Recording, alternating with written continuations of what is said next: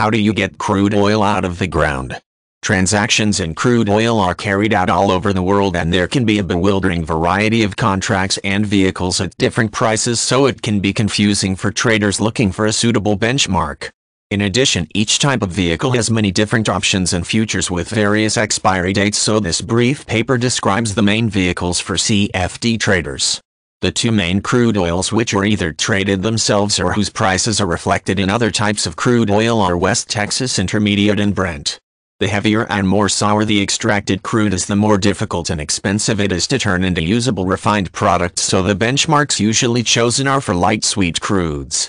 Typically there is a price differential between light sweet crudes and heavier sour issues but this has risen in recent years as a result of the decrease in the supply of light sweet crude which means higher quality crude supplies are always consumed first and the world is now increasingly reliant on a lower quality product. Data from OPEC suggests the global production of light sweet crude actually declined between 2000 and 2004 so this might be seen as the beginning of the peak oil scenario. Brent blend is ideal for making gasoline and middle distillates both of which are consumed in large quantities in the northwestern Europe where it is normally refined. There are times though when the arbitrage between Brent and other crude oils makes it worth exporting.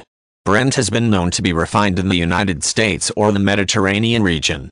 Brent blend production is also in decline but it remains the major benchmark for other crude oils in Europe or Africa.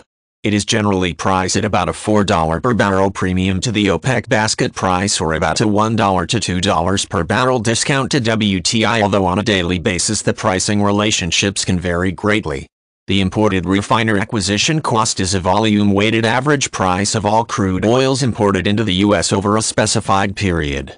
The U.S. imports more types of crude oil than anywhere else and it is thought this may represent the truest world oil price among all published crude oil prices. Although EIA is generally the only organization that uses the IRAC it is used by EIA as the world oil price in its publications including the monthly short-term energy outlook as well as the annual energy outlook and international energy outlook also released annually and these provide an annual forecast for approximately 20 years in the future.